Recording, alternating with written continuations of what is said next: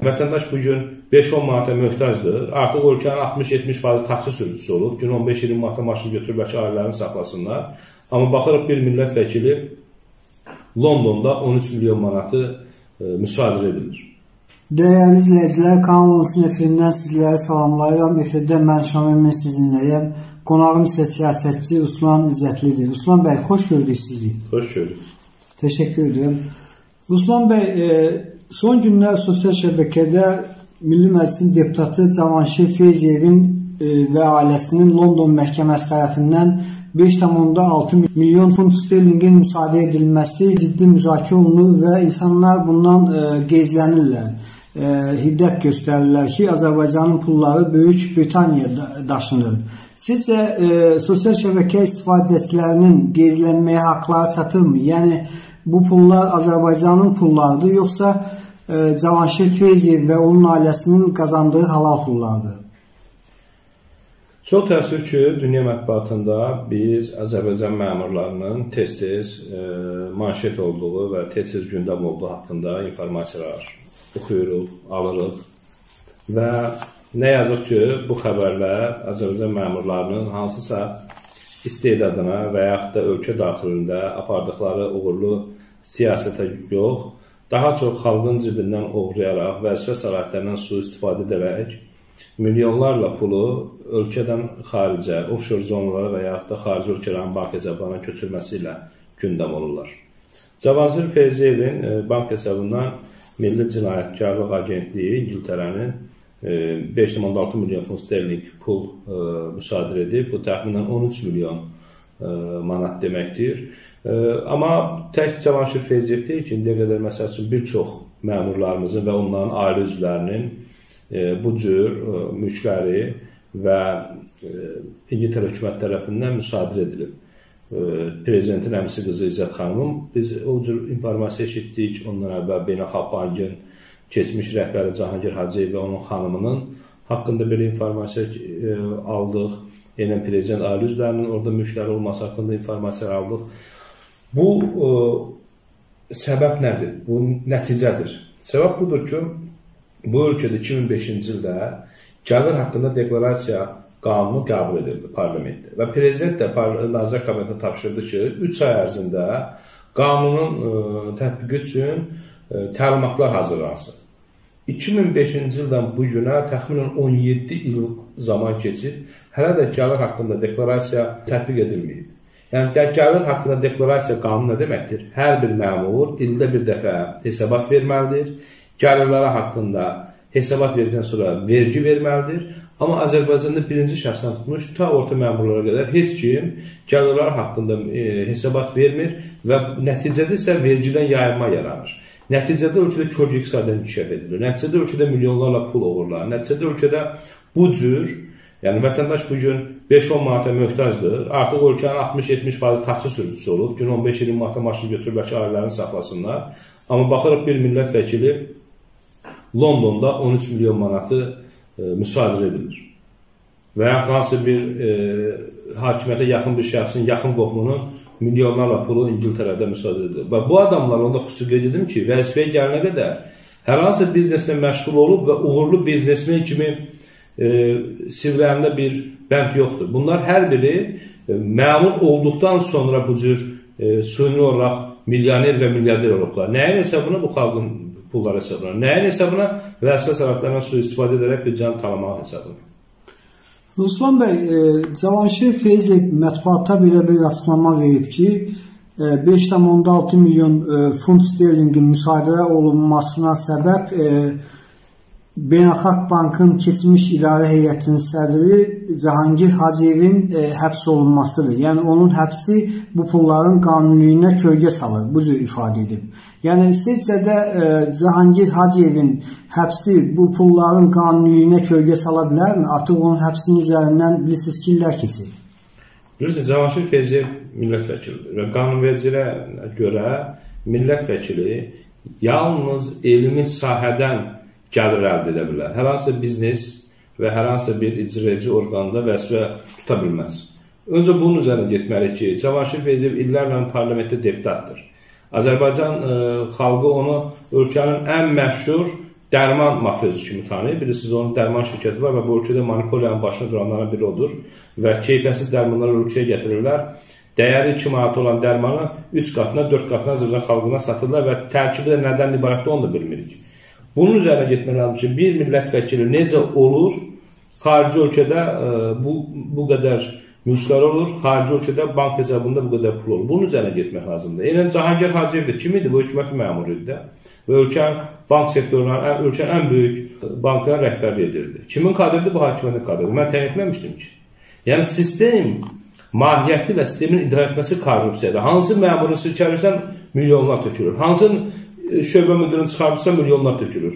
Bu ölkəni talamaq, bu ölkənin bu qədər pulları məhv etmək, bir baş prokuror və bir aidiyyatı qurumlar bir dur deməyəcəkmi? Və təbii ki, biz bilirik ki, idarəetmənin fəlsəfəsi budur, mahiyyəti budur və nəticədə də ortaya çıxır və iki təbəqələşmə yaranır. Bir qrup milyonları artıq dünya banklarında, e, bir çox ölkələrin offshorlarında milyonlarla mülklə gündəmdədir.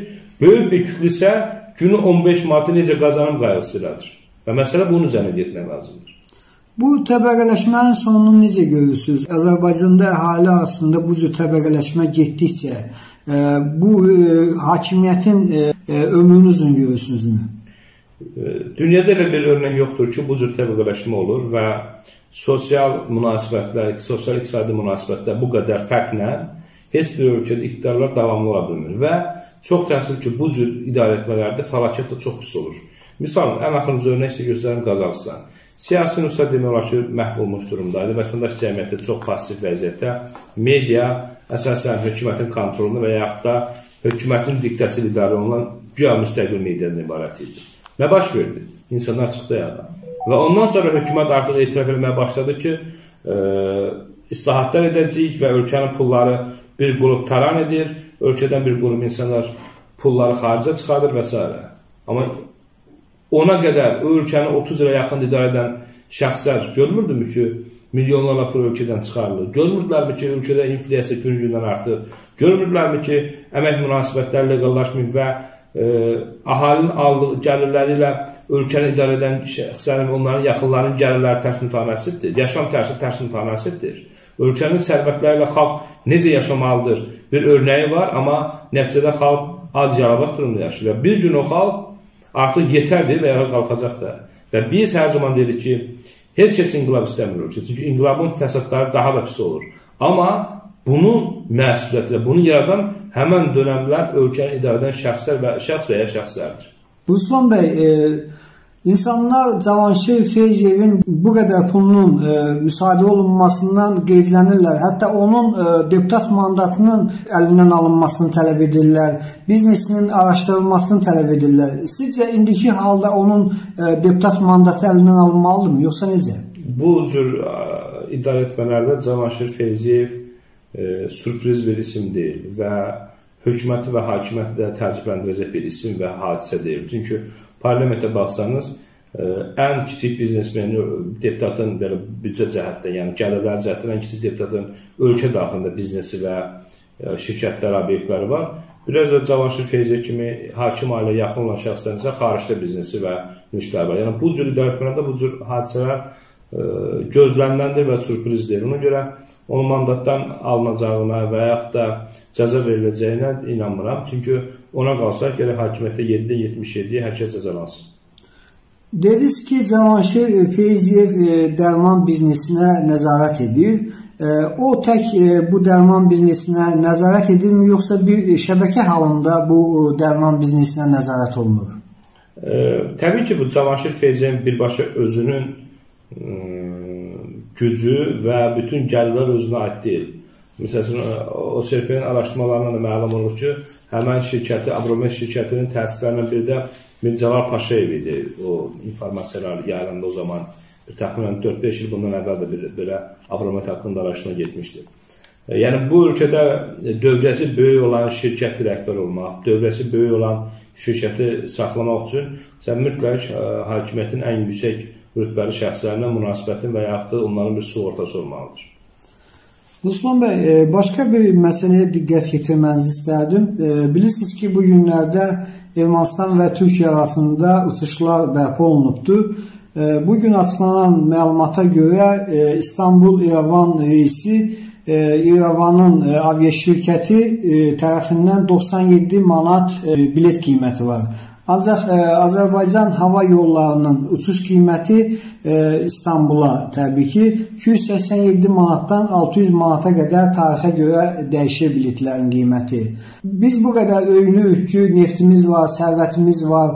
E, Ermənistanla müqayisədə Azərbaycanın Türkiyə ilə uçuş qiymətləri niyə bu dərəcədə bahadır?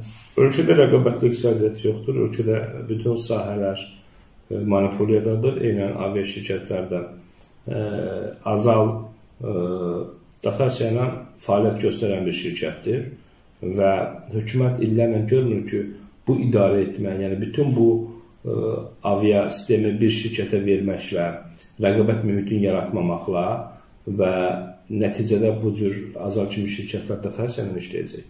Bir, bir zamanlar insanlar buradan gedirdi Kutasiya və Tiflisə oradan Avropaya uçurlar. Çünki daha ucuz başa gəlirdi. Nəinki Bakıdan Avropanın hansı şəhərinə uçuş etmək. Eynən də İrəvan Ankara uçuşuna baxırsan və Bakı Ankara İstanbul uçuşuna baxırsan tamamilə qiymət arasında ciddi fərqlər var. Nəyin nəticəsidir monopoliya? Nəyin nəticəsidir rəqabətin olması? Rəqabət yoxdursa və sahədə monopoliya varsa, istər bu avia şirkətlərdə olsun, istər dərman sahəsində olsun, istər digər iqtisadiyyatın digər sahələrində olsun, orada suni şişirdilmiş rəqəm olacaq. Çünki rəqabət yoxdur. Rəqabətdə sən qiymətləri tənzimləyə bilərsən. Rəqabətdə sən keyfiyyətli iş ortaya qoya bilərsən. Rəqabətdə sən vətəndaş məmnunluğuna xidmət edə bilərsən. Rəqabət yoxdursa tək özünsənsə, e, düşünür ki, əssəm də mənlə uçacaqlar, qiyməti qaldırsam da məndən uçacaqlar. Vətəndaş məmnunluğu olmasa da yenə mənəm, tək mənəm bazarda.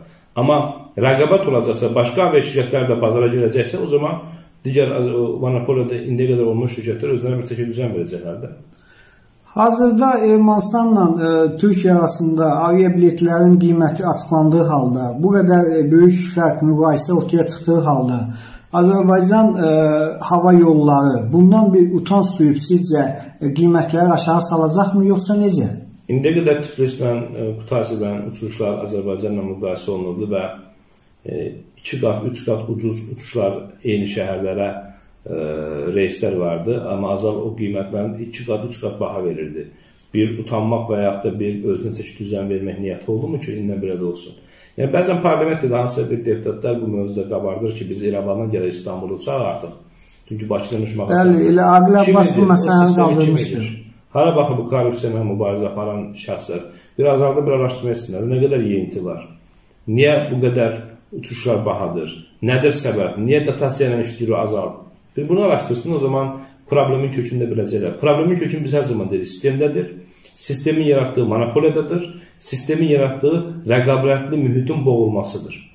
Bu davamlı olacaqsa, azal və onun kimi şirkətlər də rahat olacaq və mən də heç zaman siyasi prosesi azal və hansı qurum üzərində qurmaq istəmirəm. Çünki burada azal və ya hansı qurum ə, əsas problem deyil. Problem sistemdir. Sistem dəyişəcəksə və sistem artıq idarəetmə fəlsəfəsini dəyişəcəksə, o zaman azar və digərlərlə yanaşması dəyişəcək. Yox, sistem bu cür olacaqsa, azar və onun kimi şirkətlər e, bazarda daha özgüvənli olacaqlar və istədikləri qiymətdə qoyub və istədikləri yanaşmada e, yerinə yetirəcəklər. Sistemin dəyişməyini görürsünüzmü? Yəni bu istiqamətdə bir addımlar müşahidə edirsinizmi? Sistem ə, e, dəyişməsi xalqdan keçir, xalqın iradəsindən keçir. Xalq Əgər yetər artıq bu talançılığa, bu özbaşınalığa son qoyaq bir müqavimət görəcəksə, o zaman e, ya xalq birbaşa dəyişəcək və ya da xalq, e, hakimiyyət o müqaviməti görüb artıq özü dəyişməyə başlayacaq. Bunun ikisi biri olmalıdır. Bunun üçün də xalq seyirci, film izləyəcək obrazından çəkilib əsas prosesin aktoru olmalıdır. Prosesin aktoru və aparıcı obrazında olmayacaqsa xalq, o zaman yarımçıq məmurlar bu boyutda məmləkəti tamin edəcəklər və məmləkət də bu durumda olacaq. Burada təkcə prosesin e, izləyicisi, aktyoru rolunda xalqdırmı? E, müxalifətin də rolu varmı sizcə? Bilirsiniz, bu bəzən insanlar etiraz etmirsə və nələrsə dəyişmirsə, biz e, günah keçisi axtarmamalıyıq. E, mən demirəm, indiyə qədər mübarizə aparan siyasi təşkilatlar və liderlər çox uğurlu olub. Təbii ki, uğurlu olsaydılar nəticə bu qədər olmazdı. Amma biz artıq düşünməliyik ki, Kimsə bizim yerimizə gəlib qərar verməyəcək. Və kimsə də bir əlaqın sehirli çubuğu yoxdur ki, onunla bir dəyişim etsin. E, qərar və güc xalqdadır. Xalq özü qərar verib özü seçimini etməlidir. Hə, siyasətlərin üzərinə düşməli, təbii ki, o düşür ki, doğruları söyləsin. Məsələn, bizim işimizdə də sizin televiziya vasitəsilə doğruları xalqa çatdırar. Sizin kimi müstəqil media vasitəsilə insanlara doğru və yanlışı göstərək. Artıq qərarı insanlar verməlidir. O doğru və yanlışlara görə insanlar seçim etməlidir. İnsanların güvəndiyi e, lider yoxdursa, müxalif lider, e, bu halda kör təbii şəkildə necə sistemi dəyişməyə gücü çatar? İnsanların güvəndiyi siyasi lider və siyasi təşkilat yoxdur. Biz onu hardan bilirik? Ölkədə demokratiya keçirilibmi? Ölkədə ümumiyyətlə bir siyasi mühit Sosial şəbəkələrdə deyilənlərə əsasən e, bu Sosial şəbəkə bilirsiniz, bir qruplardır. Ola bilər ki, hansı bir siyasi təşkilat özü və bir troll dəstəsi var, özünü qabardır. Eynən də hakimiyyətin troll e, komandaları var, onu qabardır. E, Bizə texnologiya o qədər inkişaf edib, edib ki, siz bot vasitəsilə bu videonu 100 min izləyici kimi xalqa da təqdim edə bilərsiniz və yaxud da orqanik izlənməsini 5 minə göstərə bilərsiniz. Yəni sosial media bəzən də o reallıqları göstərməyə bilir. Yəni bir fon yaradılır, bir PR aparılır botlar vasitəsilə və sanki düşünürsən ki, Bu daha güclüdür, nisbi cəhətdən güclüdür. Mən hər zaman çıxışlarımı demişəm, Azərbaycanda siyasi partiya və partiya liderləri güclü olsaydı, Daxili İşlər Nazirinin hər hansı bir serjantı onun qolundan tutub avtobusa mindirə bilməzdi. Çünki o müqaviməti və xalqın etirazını istəyə bilərdi. Çox təəssüf ki, güc yalnız ortada olanlar arasında nisbi bir e, müqayisə ilə göstərilir. Real güc hələ ki yoxdur. Çünki qarşımızda elə bir sistem var ki, dövlətin bütün alətlərin istifadə edərək sənin üzərinə gəlir. Media yox, sərvət toplaşmaq. Baxın da, indiyə qədər bir özünüz jurnalist olaraq araşdırma edin. Eynən də mən bizi izləyənlərə səslənirəm. Baxın, indiyə qədər azadlıq meydanı var idi. Nə etdilər? Elədilər Formula 1 dayanacağı. Qələbə meydanı var idi. İnşaatçı metrosunun yaxınlığında. Yolu elə təmir etdilər ki, və orada bir mol tikdilər ki, artıq meydan olmasın, daha dar bir küçə olsun. Nərmana metrosunun üzərində meydan var idi. Orada yenə e, bir e, böyük bir mağaza tikdilər. Yenə yolda iki xətt ilə, qoşa xətt elədilər və orada e, işıq dirəkləri qoydular ki, meydan olmasın, ancaq yol dar küçələr olsun. Eynən Əhmədlər arasında o problem vardı. Meydan var idi. Eynən orada da yolu iki, ikili etdilər və işıq dirəkləri qoydular ki, meydan kisilsin. Məqsəd birisi nədir? Hökumət şəhərdə insanların anında toplaşacağı böyük meydançalar olmasını istəmir. Daha küçəli olmasın ki, onu boğa bilsin, sıxa bilsin, tez qarşıla bilsin. Yəni biz bəzən hökumətə çox gücsüz və sanki idarə edə bilməyəcək bir sistem kimi görürük. Amma əslində öz maraqları üçün, özünü qorumaq üçün çox ciddi də çalışır. Orada medianın boğur, media haqqında qanuna baxın, mürtəci bir qanundur, biabırçı bir qanun. Yəni 21-ci əsrdə cür qanun qəbul edilməz. Müxalifətin üzrə istəyir, sistemi dəyişmək üçün güclü çalışdığını görürsünüzmü? Mən öz e, adıma deyə bilərəm ki, mənim üçün e, mübarizəmdə əsas bir prinsip var. Qorxmadan, çəkinmədən doğruları demək, e, qorxmadan, çəkinmədən dik duruşu təmin etmək. Mən hər zaman təkrar edirəm. Nazim Hikmətin gözəl bir sözü var. Məğlub ola bilərik, amma təslim olmamalıyıq. Mən və bizim kimi düşünən gənclər çalışırıq ki, ölkədə təslim olmamalı mübarizəni yaradaq. Siyasi partiyalar var, onların öz məsuliyyətləri var. O məsuliyyətlərlə uyğun davranmalıdırlar. Davrana bilməyəcəklərsə xalq qiymətini verəcək. Yeri gəlmişkən, e, bu günlərdə deputat Fazil Mustafa Milli Məclisdə müxalifət haqqında qanunun qəbul edilməsini səsləndirdi. Bu qanunun e, qəbul edilməsinə ehtiyac varmı? Mən ümumiyyətlə bilmirəm bu qanunda Fazil bəy nəyi təklif edir və hansı prinsiplər qabadır, amma e, indiyə qədər olan ənənələrdən çıxış edib deyə bilərəm ki, hökumətin hər zaman qəbul etdiyi qanunlar və təkliflər çox təəssüf mürtəci olub pozitiv olmayıb. Yəni bu e, mültəci qanunlarla bizim e, gələcəyimiz nə vəd edir bu halda? Yaxın Şərq nə vəd etdisə, Qazaxıstan nə vəd etdisə, Azərbaycan onun vəd edir. Çox təəssüf. Ölkəni daha bir işıqlı gələcəyə aparmaq üçün inqilab yolundan deyil, sivil yolla e, bu sistemi dəyişməyə görmürsünüzmü? Biz hər zaman dinc, konstitusiyon dəyişilən tərəfindəyik. Biz qarşı durmanın ixtişaşın əleyhinəyik və bunu ölkəmizə və insanlarımıza da arzulanır. Normal seçki yolu ilə sivil mübarizələr dəyişilməlidir. ölkədə isə nə baş verəcəksə, bunun günahkarı ölkəni idarə edən və bu gün o milyonları Londona daşıyan məmurlar səbəb olacaq, biz yox. Yeri gəlmişkən Londonun adını çəkdiniz yenə.